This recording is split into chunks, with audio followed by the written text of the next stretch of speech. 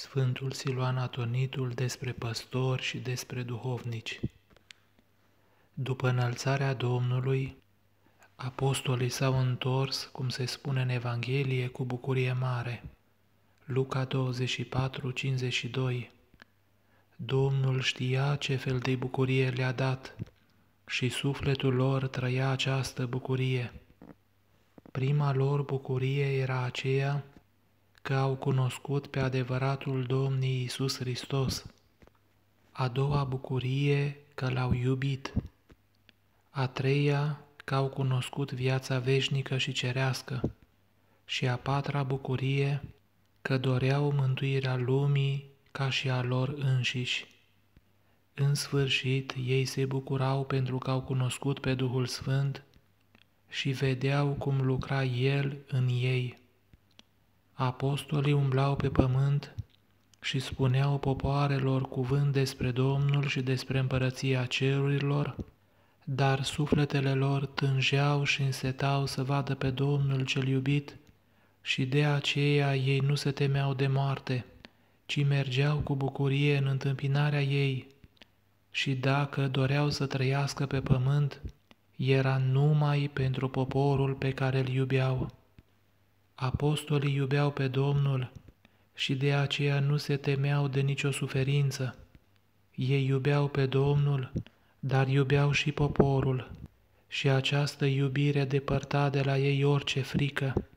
Nu se temeau nici de chinuri, nici de moarte, și de aceea Domnul i-a trimis în lume ca să lumineze pe oameni. Până în ziua de astăzi sunt monahi care au experiența iubirii dumnezeiești și năzuiesc după ea ziua și noaptea, și ei ajută lumea prin rugăciune și scrieri, dar această sarcină apasă mai mult asupra păstorilor bisericii, care poartă în ei un har atât de mare, că dacă oamenii ar putea vedea slava acestui har, lumea întreagă s-ar minuna de el, dar Domnul a ascuns-o, ca slujitorii lui să nu se trufească, ci să se mântuiască în smerenie. Domnul cheamă episcop să păstorească turma sa și le dă în dar harul Sfântului Duh.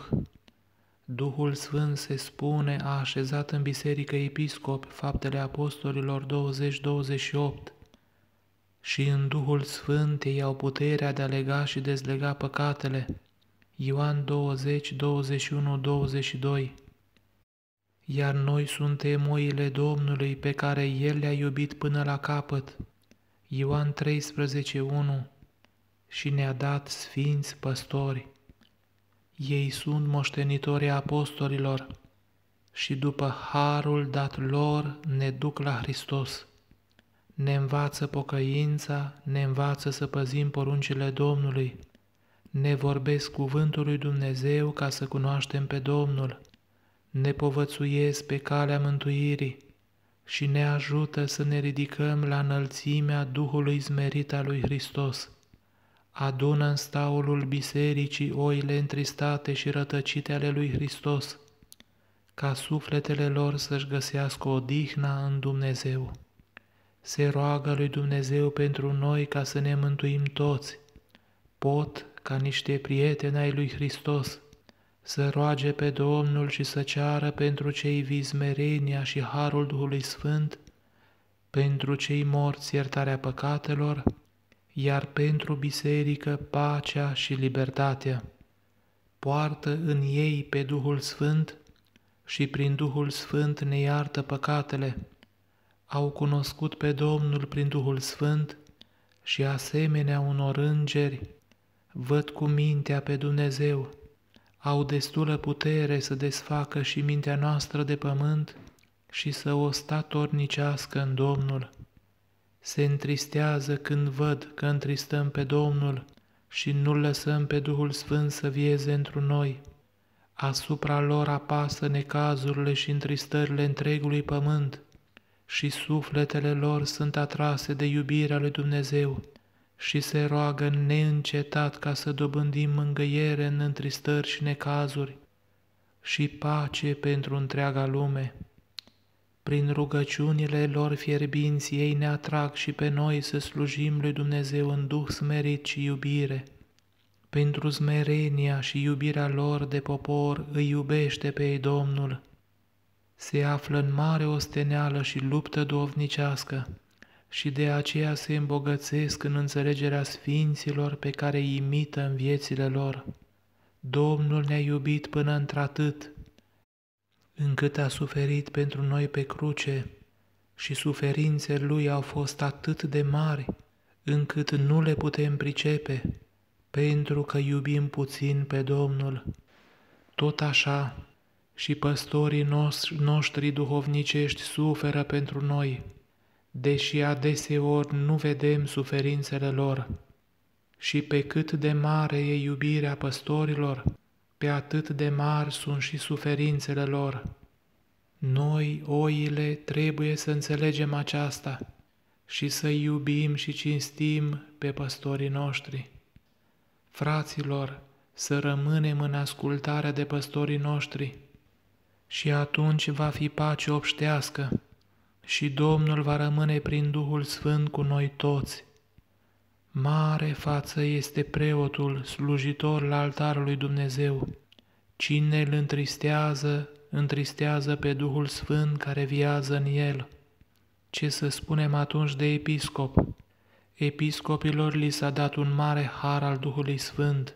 Ei stau mai presus decât toți.